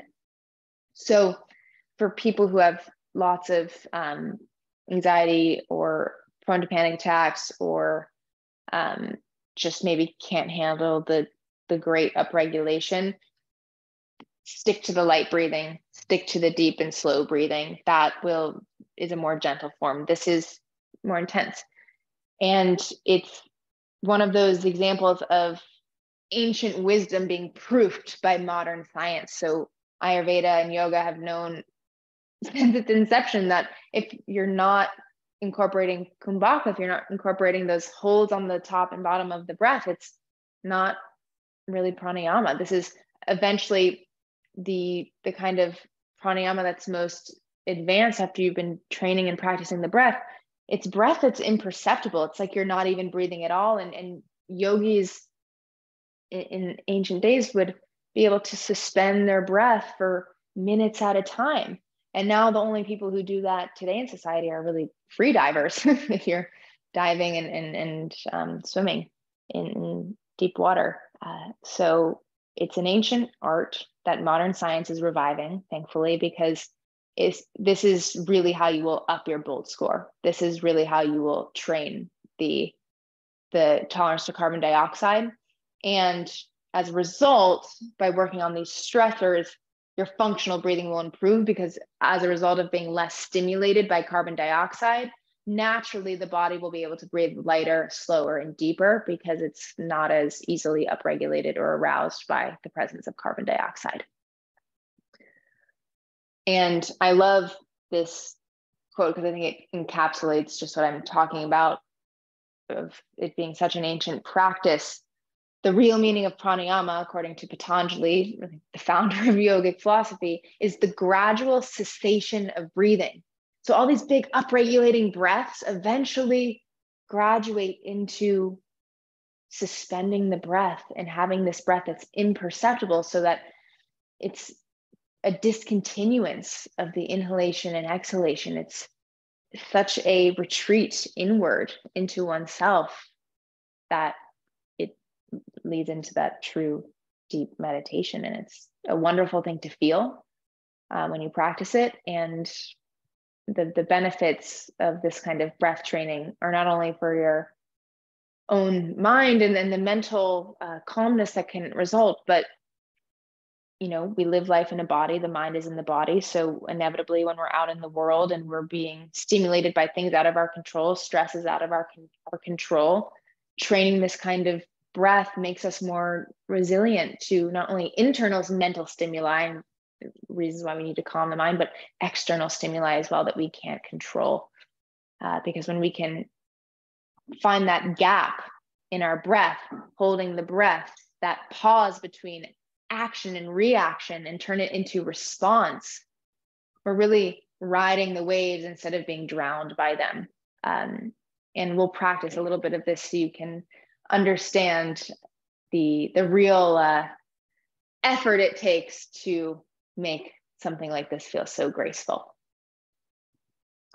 Any questions about anything I just said before we practice something more upregulating? Okay. So I'm going to ask you to stand up. We've been sitting a long time. I think it will feel nice. And stand up. I'm going to adjust the camera. Just bring me a little bit further there. Okay. We're going to start a little bit lighter and then we'll get into we'll get into the meat of it. But you know, first just shake out the body a little bit, do any little uh, movements you need to do after sitting for a while. So maybe some nice hip circles, whatever you need to do, get that blood flow back. Um, if you have a, a, room that you're in and you can walk around it, that will be good. Otherwise, you can walk and, and step in place. That's fine too. It might be more interesting for the brain to be able to walk around your space a little bit. So just start to pace around your space. You can walk in a circle, in a straight line, whatever you like. Don't think too hard about it. And begin to breathe normally through the nose. Ideally, the, the breath is a bit light, it's a bit slow, still have that depth of breath. And then I want you to take a regular breath in through the nose and a regular breath out through the nose. And then stopper the nostrils, pinch the nose and hold. And I want you to take 10 steps, 10 paces, holding the breath after the exhale. And then after the 10, release, gently inhale and exhale. And that 10 steps felt like way too much. You can bump it down to eight or five, but let's go with 10 for now. And once the breath returns to that regular nasal breath, it's comfortable. It's hopefully somewhere in the light, slow, deep realm. Take a breath in through the nose, a breath out through the nose, pinch the nose and hold gently and take 10 steps again. After your 10, you release your hand, you inhale gently, light as you can. And you start to breathe nice and light. So after a breath hold, you never want to be gasping for air. It's too much. So keep walking around your space. Just going to pace up and down my mat. And once you're feeling recovered from that, take a breath in through the nose, a breath out through the nose, pinch the nose and hold, and take 15 steps. Again, if you down modified, take maybe a little bit more than you took. So 15 steps. And once you reach your 15, release, inhale as gently as you can. This is really the key here. Gentle, gentle, gentle inhale. If you don't have any space to walk around, you can just step in place. Good. And breathe light. Let the, let the breath become very spacious and quiet. And when you're ready, breath in through the nose, breath out through the nose, pinch the nose and hold, take 15 steps again. You can walk a little bit faster, like a normal cadence, like you're walking down the street. And after your 15 paces, gently, as gently as you can, inhale. And keep the breath now light as you're walking so that you might even feel the sensation that you're sustaining that air hunger just a little bit. Okay. Keep the breath nice and light. And we'll get more challenging to do as we start to bump this up. Okay. So now that we've warmed up the breath holds a little bit, we can start to take this a little bit more rigorously. Breath in through the nose. Breath out through the nose. Pinch the nose and hold. Take 20 to 25 steps. Feel a bit of a stronger breath hold.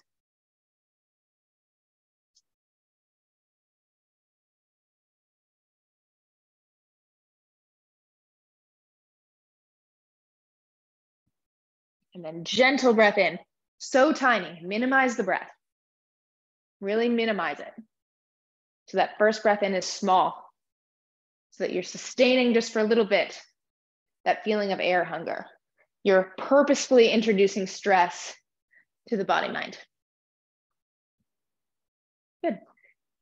And let your pace be a little bit quicker, you know, like you're really walking down the street or something, or walking down a nice trail.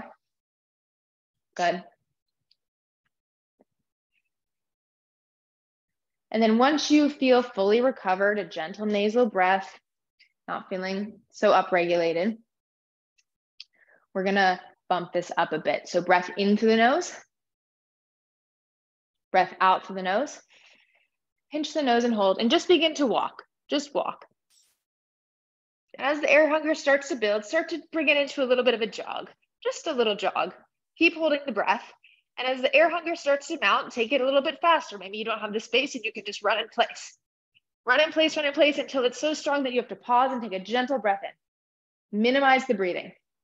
The first few breaths in are so tiny. So you're sustaining that hypercapnia, that higher level of CO2, so tiny.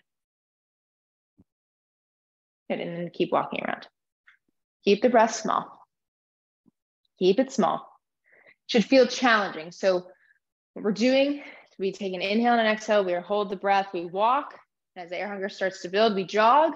And as the air hunger starts to build, we sprint, which you might have to do in place if you don't have the, the space. And then the air hunger should build to a strong sensation, much stronger than that BOLT score, but not to the point where you have to take a big mouth breath in.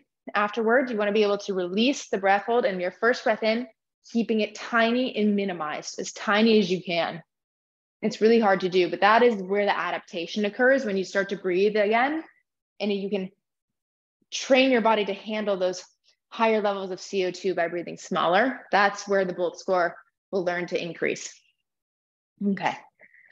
After that one, we'll give, you know, 30 seconds to a minute to recover. We don't want to be doing this one after another so quickly because we want the body to be more fully at rest when we begin again.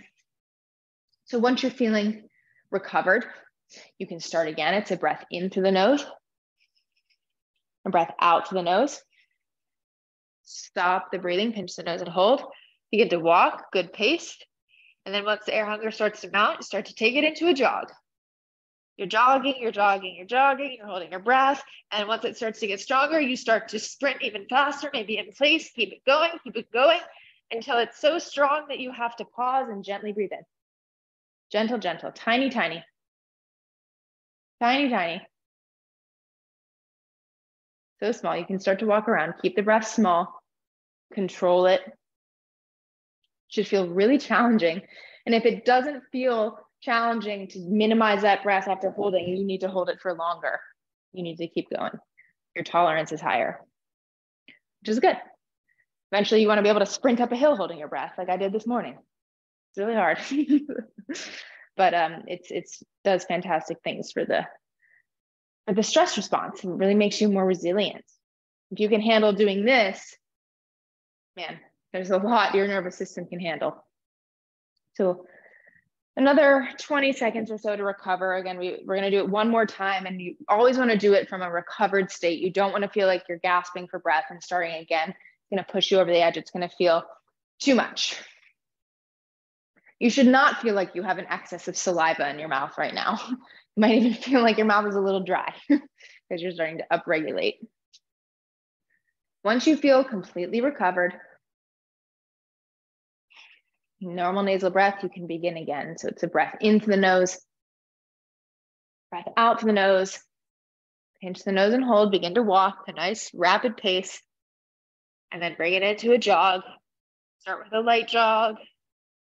And as the air hunger starts to build, you move it faster. Maybe you start to sprint in place if your space doesn't accommodate you, and you go fast, fast, fast, fast, fast until it's such a strong hold that you've reached your limit. Tiny breath in, minimize the breathing, tiny breath out. Tiny, tiny, tiny. Tiny, tiny, tiny. Good. You can walk around a little bit if that helps, but keep the breath really small. Inch in, inch out. Inch in, inch out. So we're incorporating this light breathing after the intermittent hypercapnic hypoxic training, stimulation of high altitude to sustain the hypercapnia to train those adaptations in the body.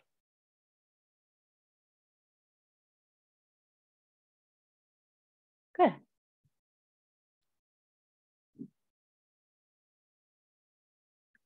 So what's been happening is we've been dramatically increasing the level of CO2 in the body, which feels uncomfortable and like you really, you're breathless and you need to breathe in. And then we sustain that after we do the hold and we breathe light. So the so the CO2 stays elevated. This has dispersed so much oxygen into your tissues and organs. This, this is a great thing to do before any kind of resistance training, any kind of physical exercise, because now your body is so oxygenated and it's going to be less sore after any kind of training you do. Good. And once you've come back to, to baseline, you can find a find a seat again. And I will take any questions you have or observations. How did that feel? Was it challenging? Let me know. What, what went on? It felt good, Tiger. And I kind of caught myself when I was jogging faster that one time when I did it, I kind of got like a panic or my heart rate um, increased significantly at that moment. But uh, yeah, maybe this happens when it's just when you're training and yeah, enhancing your yeah. tolerance. Maybe it's just that it's moment. a stressor. It's a yeah. stressor for sure. The heart rate will increase, and and it's important to recognize, you know, what is a sensation of upregulation and and healthy stress versus this is sending me into a mental place I do not want to be in, right? So for some people, this is too much. And so that's why I always caution before, like if you're somebody with, uh, you know, a lot of anxiety you're working with, and it's very physiological anxiety, you want to take this easy. And, and maybe instead of sprinting, you just, the jog is the most you do or a fast walk. But um, this kind of training several times a week, not every day, but several times a week is going to really help that BOLT score. It's really training your tolerance to CO2. Tomorrow, if any of you feel a little bit of a headache, very normal because your body isn't used, your brain isn't used to this much, much oxygen being sent to it. So you can get a little bit of a high altitude headache sometimes um, from the light breathing or from the, the CO2 tolerance training. Yeah. Any other observations or questions or follow up questions? Yeah, yeah, uh, yeah, I'm not maybe a uh, couple things uh, that you're, a um, couple of the terminology things that you used there. Uh, I ran for a lot of years, and I was a terrible breather, and uh, I'm, I'm, surprised I did as well as I did. But anyway, um, I didn't learn breathing until I got into yoga, which was long ways after I got into uh, uh, running. But uh, one of the things I learned, I, I used to call, we used to call LSD long, slow distance. And mm. for people who wanted to train in short terms and sprinting and stuff like that, you always took a day off and ran long and just didn't open your mouth. No, you just run at a pace where you can just feel very gliding. And it taught mm-hmm. the uh, uh, the expanded the capillaries in the blood. The longer you can go at a slow distance, so you you took advantage of the short, hard work you did, and you made it into long. So long, it was called long slow distance, and it was always a component of each week's uh, uh, workout. The, I the love other, that connection. Yeah, and the other thing I I always used in my uh, personal training uh, world was I always uh, use the expression uh, what what you just mentioned, but in a different way. SAID, the word said, specific adaptation to impose demand. So wherever you want to impose a demand, whether it's your physical body, muscles, or the breathing, in order to be an Olympian, a champion Olympian, right, you have to you have to challenge uh, the body. So uh, specific adaptation to impose demand is the way humans get better. Yes. And yeah, and I and I think that there's a a range of of better, right? Because yeah. if I'm working with, you know, if I were to have a client who's a professional athlete and their big paychecks or their hometown rep is dependent on winning matches, well, my goal for them isn't to breathe 100% through the nose. Like my goal for mm. you is to win the match, right? Yeah, right. Um, so for people like that, it's okay, well, how can we get the breathing 50% during the match? Or how can we train the breathing during training so that during the match you get that glidey feeling, that more effortless feeling?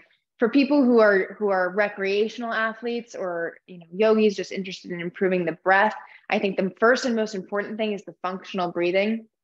And once you have breathing at rest that is effortless, you can do those specific training adaptations. Like you can really work the breath. You can really you know train x y and z. I think the functional breathing is the most important. And yeah and it's it's great that for the all those years you were practicing the nasal breathing while running i encourage anybody who is a runner to let go of their notion that i need to run for this distance or i need to run for this time and try how long can i run comfortably through my nose, breathing through my nose.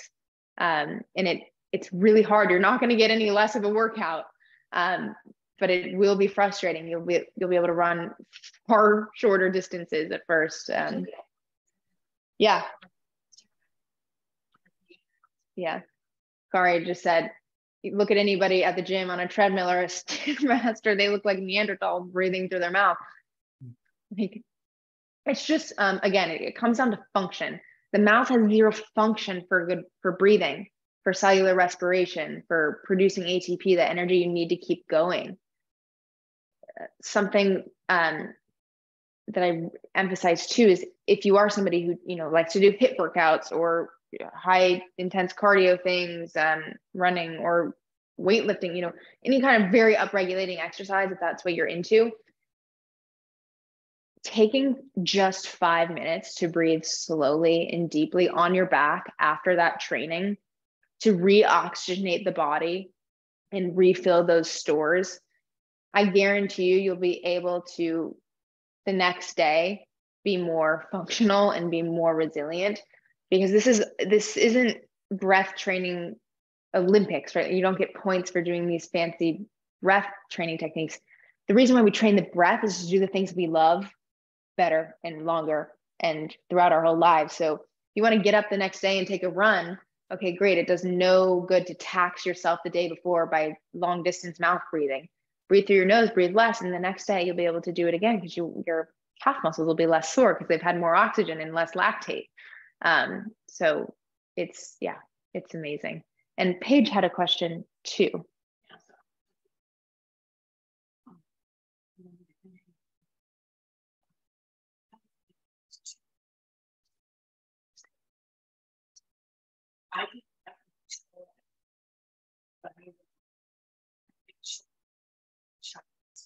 Mm-hmm.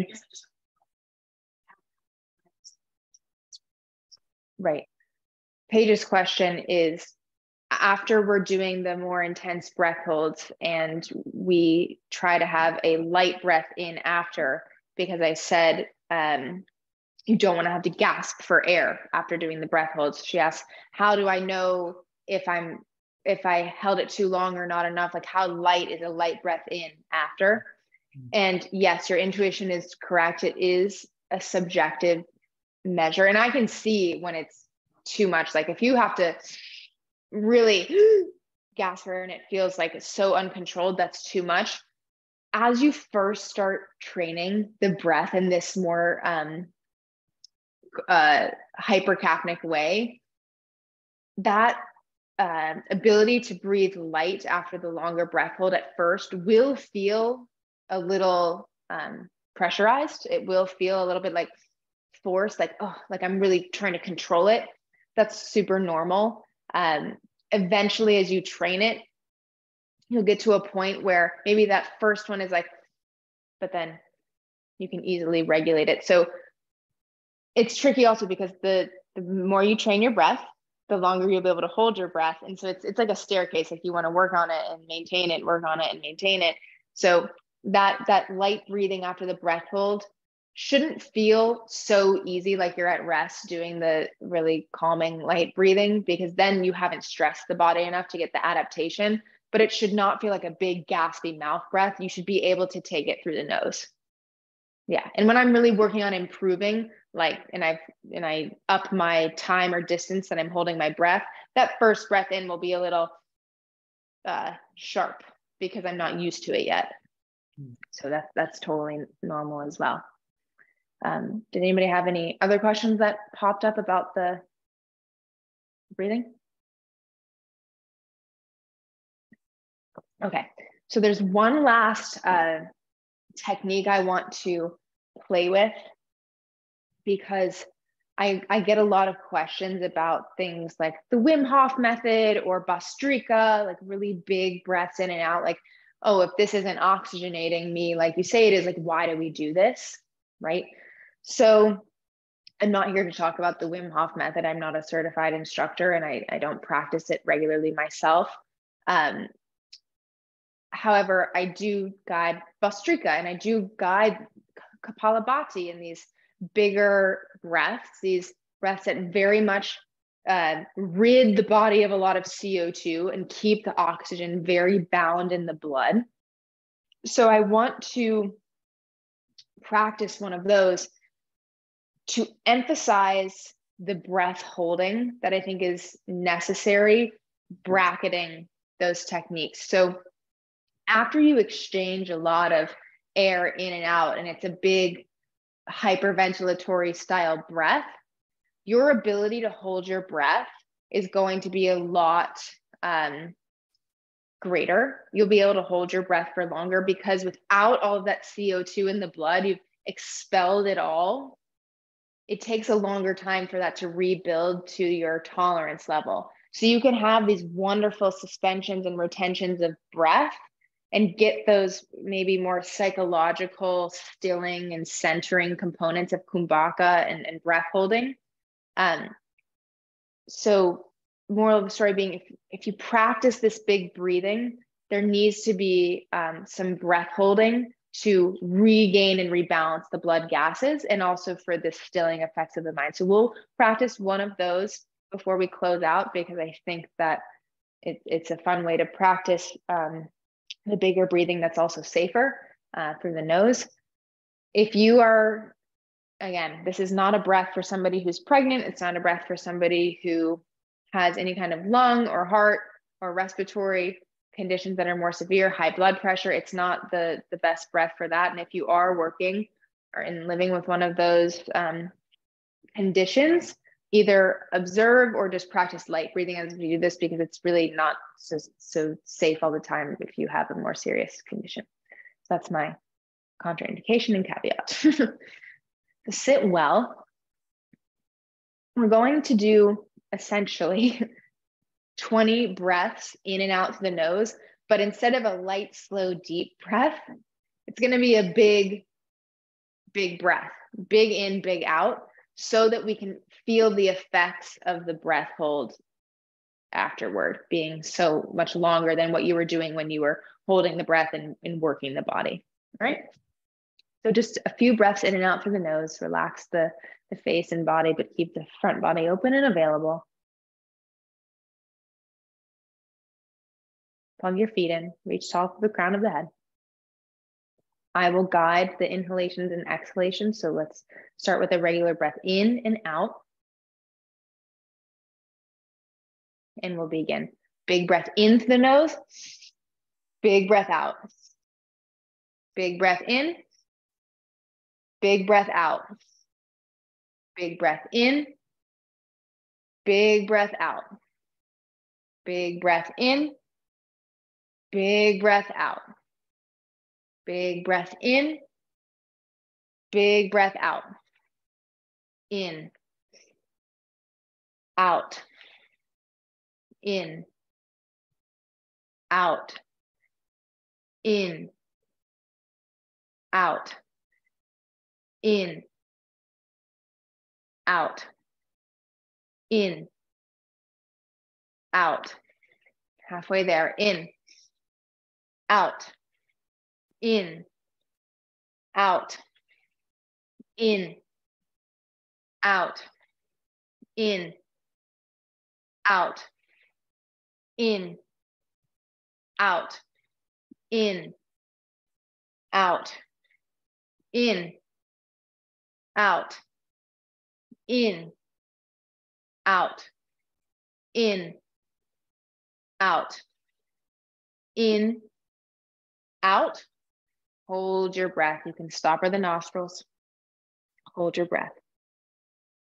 Relax the face and body. Let the body be still, let the mind start to smooth out like ripples in a pond becoming still. You'll be able to hold your breath longer than your BOLT score usually here because all of this CO2 has been expelled. Let your body relax as feelings of air hunger might start to build. And as the air hunger starts to build, once you get to that point where you know you have to take a breath in, you release and you breathe in as calmly as you can. But go until you really feel that desire. You might be surprised how long you can hold your breath here.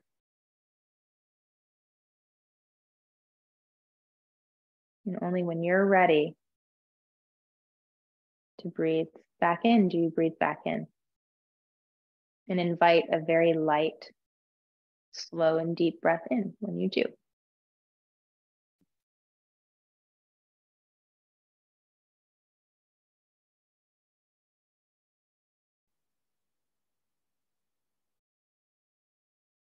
As you begin to breathe again, Notice the quality of the mind, of the body.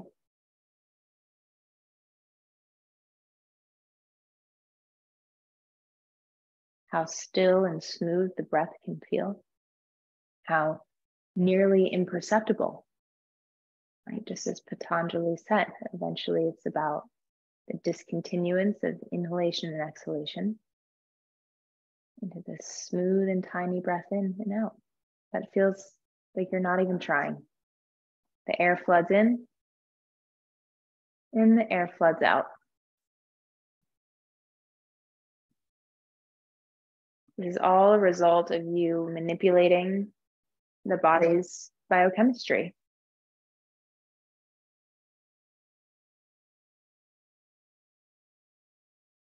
Playing with expelling so much CO2 that you have a longer chance for it to build up and the longer it takes much longer to feel that breathlessness. So anytime that you do any big breathing like this in yoga class incorporate that kumbhaka at the end and it really will help to balance the blood gases more. And and hopefully now that you understand more as i said what's going on under the hood during your breathing during your pranayama it uh, has maybe inspired you to play with a few different things in your own breathing practice or own exercise practices and give you just a little bit more insight into your own nervous system and how breathing truly is the front door and driver's steering wheel of it. Thank you so much for joining me for these past two hours if you have any more questions, let me know. I'm, I'm here to answer any and all questions. We didn't, you know, there's a lot more that we can explore, and, and I'm sure we will with further workshops, but hopefully this gave you a nice overview into functional breathing and the simulation of high altitude training.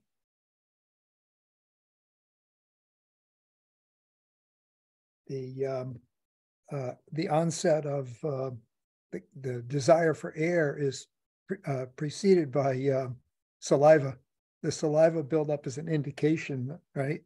That is mm-hmm. there. It, the more I did it, the more I realized, oh, there's the indicator right there. Even though I could go a little bit longer, the saliva yeah. was really, the buildup was really uh, uh, pretty significant.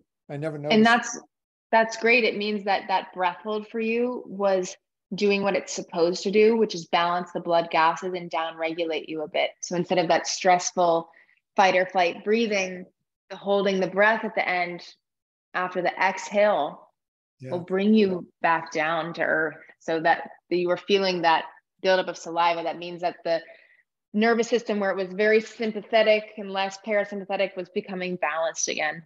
Yeah. So that's great. What, what's the name of the product they use for tape on your? Or, it's called Myotape, M Y O T A P E. Okay. I'll send I'll send um, a link to all the I'll people just, who get the workshop, or I'll put it in the the description of the recording too. Okay. I'll go to the drugstore and see if I, I, I've practiced. It won't be at the drugstore. Um, Oh, it's an oxygen advantage product and it will ship Oh. to you very quickly, but from Ireland. And it is the first kind of mouth tape really invented. Um, yeah. So, but it's my favorite one. The others I find either don't stay on, and I prefer one that goes around my lips instead of directly on it. Um, but you can get surgical tape too and just put it on your lips. Yeah. So you can't really uh, keep your mouth closed, dur- even though I think I have since I read the book. I read Nestor's book. I think I'm keeping my mouth closed, but maybe I'm not. Most people aren't at, throughout the whole night unless they're taping.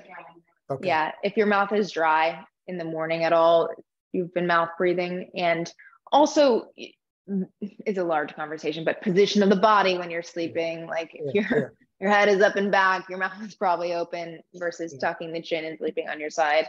Um, so Okay. yeah, all but. I'll I'll send you all the the links to anything I Great. mentioned today. Thank you so much. My pleasure. Thank you for coming. Well, nice to have you. yes, very, very balanced uh, class and uh, worth all the time. Thank you so much. You're welcome. Thank you, Tiger. It was really great. They have some nice insights I can play with, and it was great information. Thank I'm you. so glad. Yeah, it's it's uh not very intuitive a lot of this, but once you can feel it in the body after practicing it, it's like wow, I I'll never breathe the same again.